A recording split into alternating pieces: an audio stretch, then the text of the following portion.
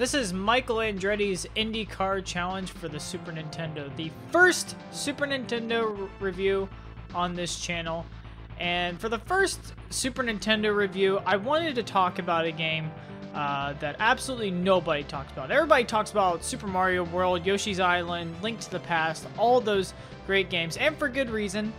But I wanted to talk about a game that really should be talked about more. This game has a couple of videos online. Some people talk about it here and there, but it just doesn't really get the spotlight that I think that it deserves because this is classic arcade style racing done right.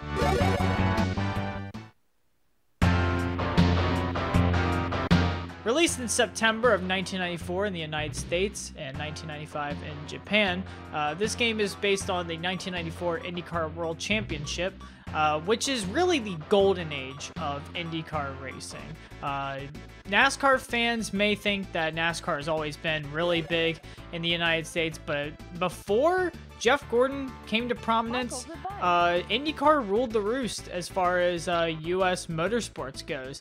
Uh, the Indy 500 wasn't just the big draw of IndyCar. Uh, IndyCar itself was just a huge draw, uh, thanks to its partnerships with uh, ABC and ESPN back in the 90s. Uh, you got to see such greats like Mario Andretti, AJ Foyt, Al Unser Jr., Michael Andretti, the namesake of this game, Bobby Rahal, all fantastic, well known names in the motorsports world throughout the entire world. Internationally known names uh, in IndyCar. Uh, and you just had such beautiful tracks like Surfers Paradise, Elkhart Lake, Michigan, Phoenix. Uh, just fantastic racing overall.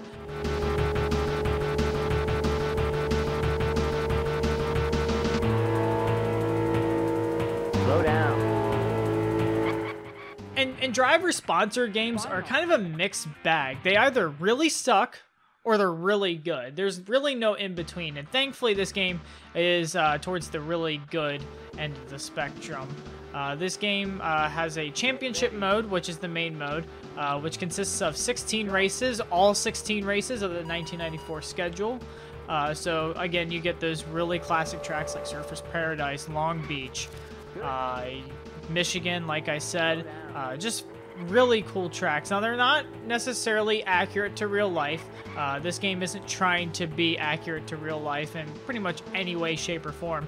Uh, this is a very no nonsense, get to the point, not trying to be more than what it is type of game.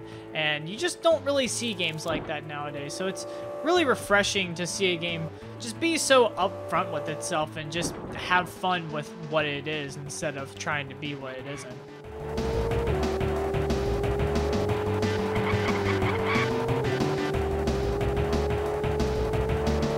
Good.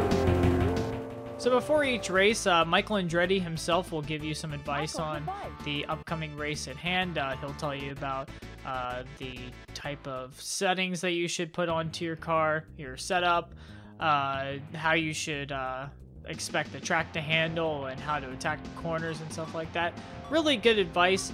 And something unique to this game for its time is just uh, the amount of stuff that you can change on the car. Now, it's only three things. You can change tire pressure, gear ratio, and downforce, and there's only three levels for each setting, but that's still really cool to see in an arcade-style uh, race game, and they do make a difference overall. Um, but you also can just use the default settings that are for every track, or you can make your own custom setups, and uh, usually custom setups are the way to go if you want to get uh, to the very top of the uh, standings. Uh, but you can use the defaults and just use that throughout the whole race. Doesn't matter. Uh, and it's just really cool uh, to see a game this old have those kinds of options because they, they weren't really common back in those days.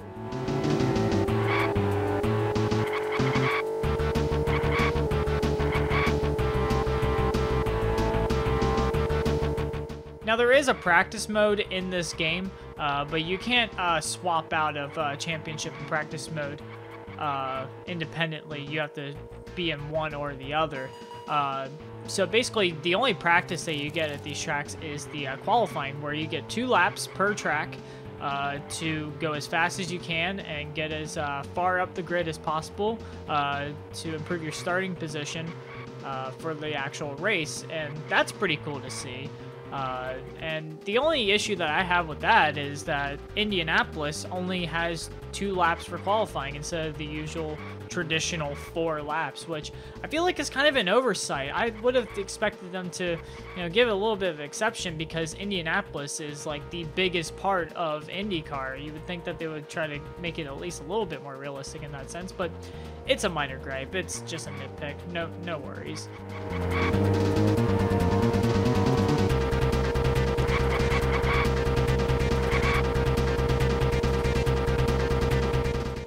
And right away, you notice uh, the Mode 7 Hard at Work works great as always. Uh, it's pretty much the bread and butter of Super Nintendo driving games, uh, and it just looks fantastic in this game on a nice big CRT TV. It just looks incredible, uh, like you would expect from the Super Nintendo. Just great graphics, uh, great sound design. Uh, you also have like some voice clips from uh, an announcer girl and Michael Andretti himself. He even does some voice acting in this game, uh, which is really funny because when you when you run AI off the uh, road, sometimes he'll uh, say "good move," and I, I don't really think that it's intended to be that way, but it's really funny when it happens.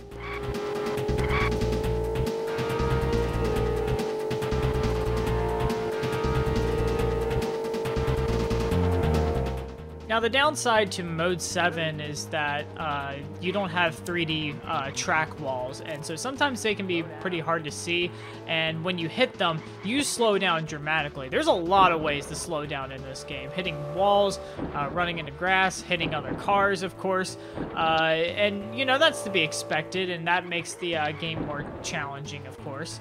Uh, but, yeah, it, it's something that, that happens quite often uh, yeah, especially getting hit by AI. And we'll talk about that in a little bit. Uh, but the driving overall feels pretty good. It's about what you expect from a game of this uh, of this time period. Uh, the controls are pretty smooth uh, for just basically being button pressing and stuff. It's pretty smooth. The uh, handling is is nice. And as somebody who's an avid sim racer, I think that's pretty high praise because I'm used to very precise steering, precise braking, and easy throttle input and stuff like that. And you just don't get that in this game, and it's not trying to because it's not supposed to be a simulation game. And when you get into the mindset that it's just supposed to be fun arcade uh, racing fun, I mean, it's exactly that. Uh, it's just pure fun. Uh, the only issue with this game really is the AI. And I, I gotta give it some leeway for this because uh, it, just of its time, uh, AI for uh, for uh, racing opponents just wasn't all that great. Uh, it's not exactly complex. But the problem is, is that the AI cars, being that they're so wide, they take up a lot of real estate on track. So actually passing cars can be a real chore. And combine that with the uh, pretty awful collision detection in this game, uh, it can make the racing kind of aggravating at times. Uh, but the collision detection being horrible is kind of to be expected because uh, these cars aren't 3D objects. They're not able to really tell like exact exact positionings and coordinates and stuff like that. Uh, that sort of horsepower just didn't exist on the Super Nintendo. So you'll have some weird collision moments here and there, but uh, it, it's just it's just the nature of the beast. And if you were somebody playing this in 1994 and didn't you know know any better of what games would become, I think that it wouldn't. I think it would just be part of the experience for you.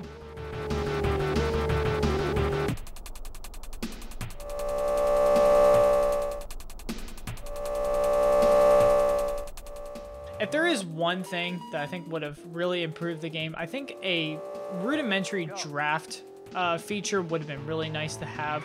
Uh, just so that when you're on straightaways, it doesn't feel like that uh, that you don't have any control over your own like speed and like uh, how you can pass other cars. I think that would make it uh, a little bit more bearable uh, because following behind cars on straightaways is a chore. Like I said, the, the cars take up a lot of real estate, real estate on the track.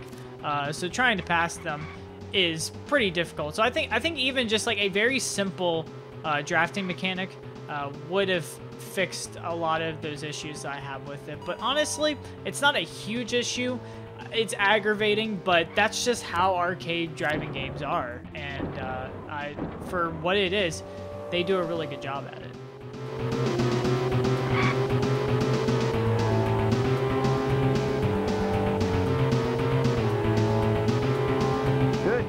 Then in some races, you actually make pit stops, which I think for the time was pretty advanced. I don't think there were many games, at least on home consoles, that had you do pit stops like that. So it's a very interesting mechanic.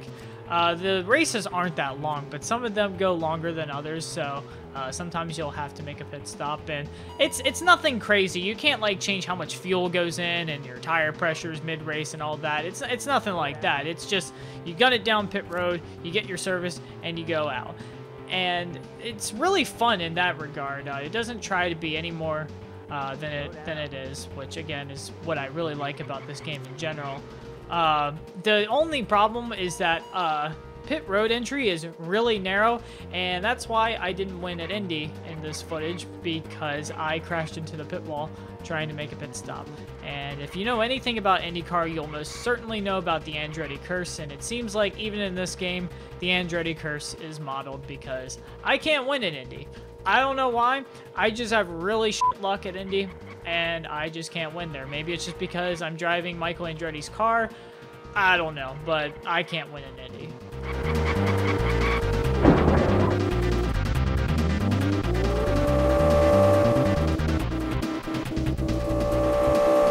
It was actually a really violent crash, all things considered. Let's take a let's take an instant replay of that. And uh, while we're talking about replays, the replay system is insane to me. Like this is 1994 race replays in video games were just not heard of. Like, it just did not happen.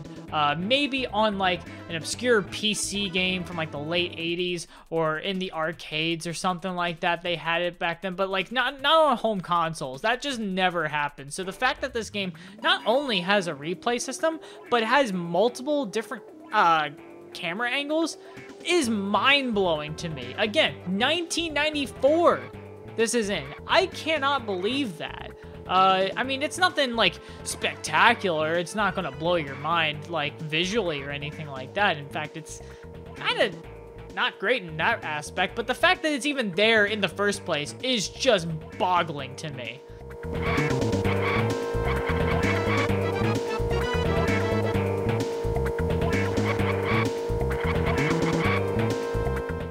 Yeah, Michael Andretti's IndyCar Challenge is a really fun game to play and a really interesting game to look back on.